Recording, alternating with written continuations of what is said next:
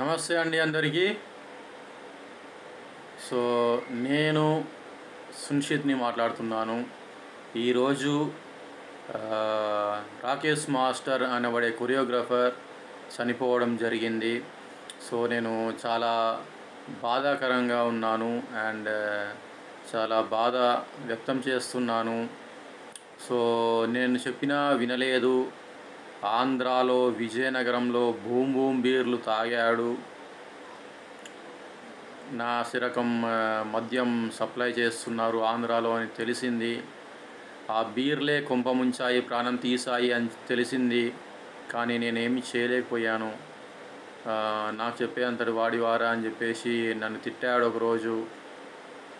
చెయ్యి కూడా చేసుకున్నాడు. పెద్దవాడు కదా అని చెప్పేసి నేనేమీ అనలేదు.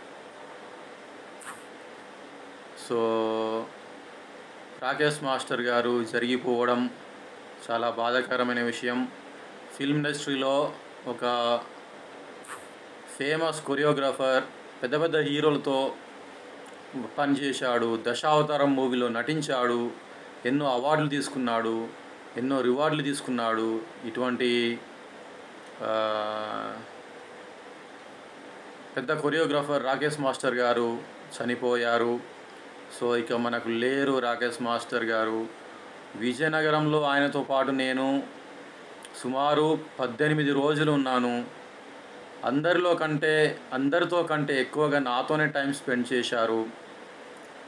ఎప్పుడు చూసినా రిషికమ్మ రిషికమ్మ అని తన కూతుర్ని తలుచుకునేవాడు. చాలా బాధపడేవాడు. అనుకోకుండా ఏడ్చేవాడు. తన మనసులో ఏదో బాధ ఉంది అని చెప్పేసి నాకు తెలిసేది. తెలిసినా కూడా నేను ఏమీ చేయలేకపోయాను. ఎందుకంటే పర్సనల్ మ్యాటర్స్లో ఇన్వాల్వ్ అవ్వకూడదు అని చెప్పేసి నేను ఇన్వాల్వ్ అవ్వలేదన్నమాట.